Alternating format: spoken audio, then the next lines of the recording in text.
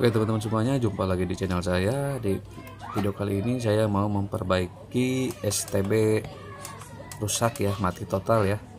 Nggak ada strum masuk sama sekali ya. Oke langsung aja dibongkar ya semuanya ya. Pertama-tama dilihat dulu ya bagian spare part dalamnya ya. Mungkin ada spare part yang kembung apa yang udah gosong apa yang sorderannya udah retak ya untuk STB kali ini sudah kelihatan ini ya ini elko nya yang kembung ini ya. Nih elko ini kembung ini ya. Ukurannya 16 volt 1000 mikrofarad ya ini ya.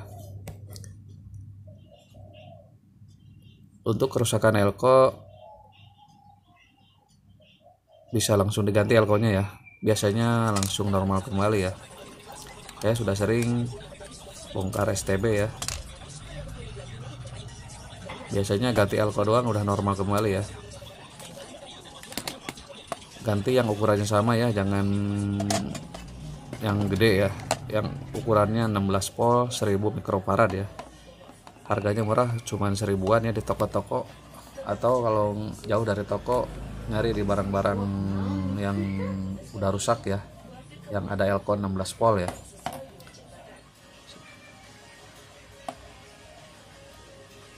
ini ya elko nya ya teman-teman ya yang sudah kembung ya.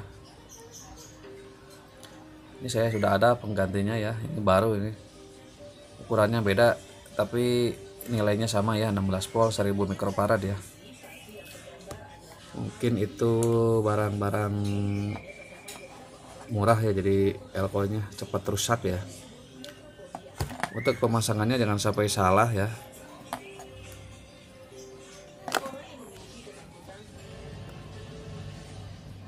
untuk yang ada garis putihnya itu negatif ya jangan sampai terbalik ya. Bisa berbahaya bisa elko nya bisa meledak ya kalau terbalik ya. Pokoknya yang ada garis putih itu negatif ya.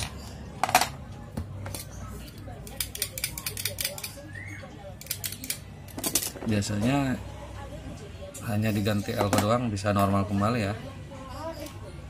Saya sudah beberapa kali servis STB ya.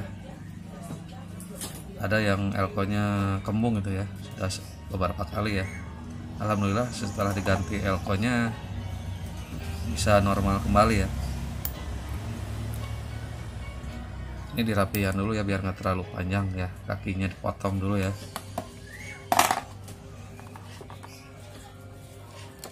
Intinya jangan sampai terbalik aja itu ya kakinya gitu ya positif negatifnya ya.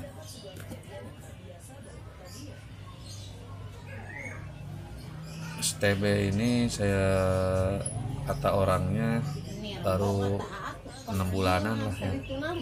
Mungkin karena dipakai tiap hari ya.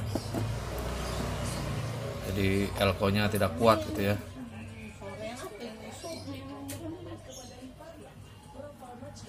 Ini setelah saya solder ya sudah kuat ya kita saatnya dites ya. Mudah-mudahan hidup ya.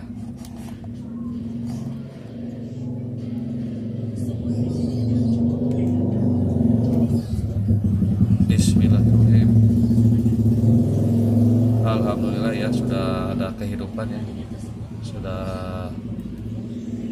boot lagi boot gitu ya sudah dipastikan ini bisa hidup ya. Tinggal dipasang lagi casingnya ya.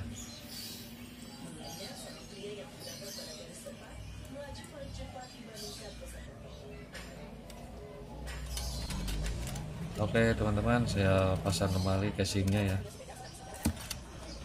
Awas jangan sampai ada yang koslet ya. Ini saya kasih kertas di sininya ya takutnya kena body ya. Soalnya jaraknya mepet banget ya aslinya nggak ada kertasnya itu ya saya bikin aja sendiri ya. Untuk jaga-jaga ya biar awet gitu ya.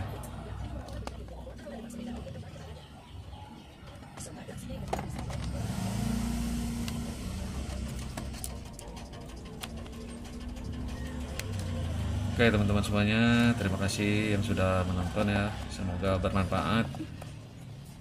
Wassalam